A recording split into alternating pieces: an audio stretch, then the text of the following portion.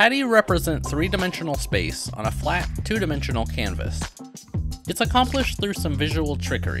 Illusion, Michael. Hmm. Trick is something a whore does for money.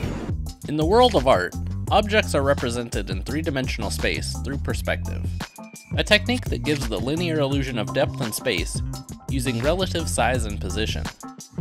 It's something that seems simple now, but early painters struggled with the idea.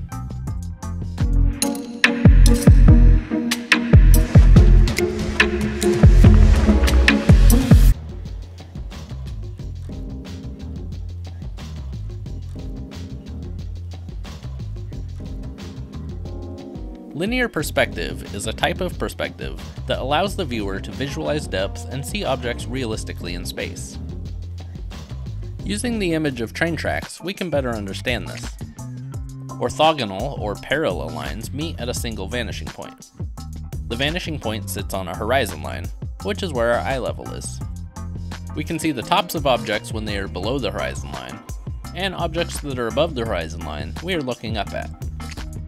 During the Middle Ages, paintings were usually flat. Subjects looked out of place, and vanishing points were often wrong. Although artists didn't have a system for accurately displaying perspective yet, they understood that objects got smaller the further away they were. This technique wasn't always used though, as art from the Middle Ages was heavily influenced by religious imagery. Artists often used a certain hierarchy in their depictions of figures, where more powerful figures took up more space on a canvas than inferior ones did. Art from ancient Egypt and the Byzantine era are good examples of this. Going outside of Europe and Africa, artists in China had a system for showing depth that was unique to their culture. Since Chinese art was typically done on a very long hand scroll and meant to be viewed one section at a time, there wasn't a need for realistic perspective with a common vanishing point. The traditional method of depicting space was with isometric projection, where parallel lines don't merge. Instead, they are laid out in a way that they are undistorted by perspective, but still give the illusion of depth. This system allows the viewer to shift perspective as their eyes move across the painting and discover the scene in a unique way. Isometric projection is also used in engineering drawings and 3D design because it is easy to understand.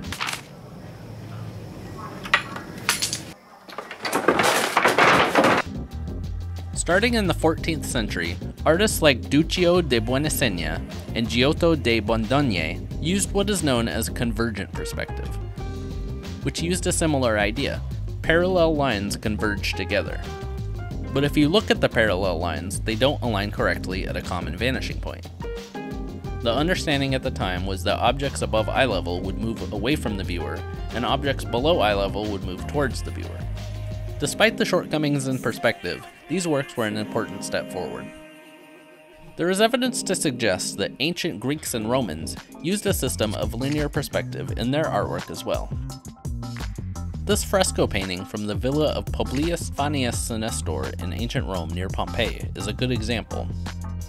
But like other systems, it wasn't flawless. There are multiple vanishing points scattered around the painting. Whatever system these ancient artists had, it was lost by the Middle Ages. The idea of linear perspective in art that we know today was first used around 1415 by an artist and architect named Filippo Brunelleschi. Brunelleschi experimented with a mathematical system of lines that met at a single vanishing point. A famous experiment of his was done while standing in front of the baptistry in Florence. He used a painting with a hole in it and a mirror to compare his own perspective with the perspective of the painting. His experiments proved to be a success, and he was able to draw a building with incredible realism. These original perspective experiments have since been lost, but Brunelleschi's ideas spread.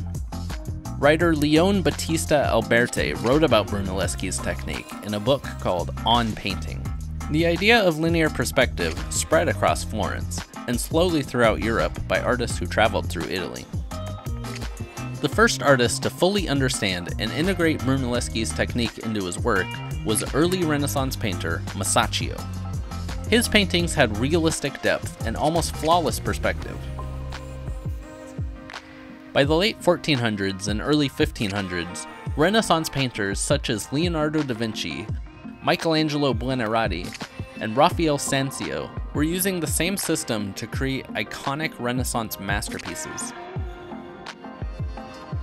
Artists of the time stuck with a very basic system of perspective, with a single, centrally positioned vanishing point. This was the dominating style for almost 400 years. Going back to the idea of linear perspective, using a single vanishing point is called one-point perspective. If we add another vanishing point to a drawing, this will give us two-point perspective, which is best illustrated by looking at the corner of a building. Both sides of the building have a separate vanishing point. This technique is useful in showing a realistic view of an object from an angle. Two-point perspective is thought to have started with John Pélerin, who wrote the first illustrated book on perspective in 1505. Although two-point perspective was understood around this time, it was rarely used by Renaissance artists. It wasn't until 1651 that it was first used successfully by Dutch artist Gerard Houckgeest in his painting of church interiors. Three-point perspective is the least used method of linear perspective, but closer in how we actually see the world. It is usually used to illustrate buildings from an extreme top-down or bottom-up view. The biggest difference here is that the third vanishing point isn't on the horizon line, but instead it's placed above or below the object. Linear perspective was used as an essential tool throughout the Renaissance, and it carried over to the movements that followed Baroque, Neoclassicism, Realism, and even Impressionism. It wasn't until the end of the 19th century that the idea was challenged. With the growing popularity of photography, perspective could be captured instantly by people with no artistic merit.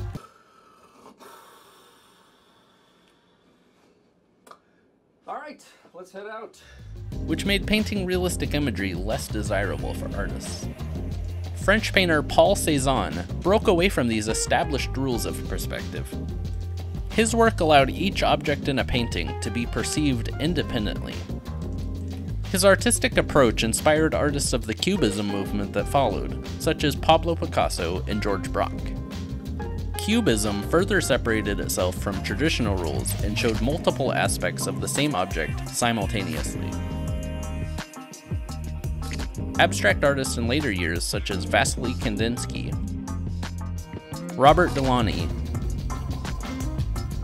and Kazimir Malevich, would remove perspective entirely, focusing on color, line, and simple shapes.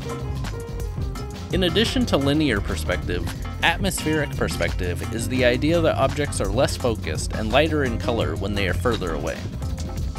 As objects recede into the background, we see more of Earth's atmosphere, and objects appear more blue and less saturated. Atmospheric perspective can be found as far back as ancient Rome. It was also used by Chinese painters as early as the 8th century. Today, it's easy to imagine art in 3D. We have tools that automatically capture flawless perspective, by default.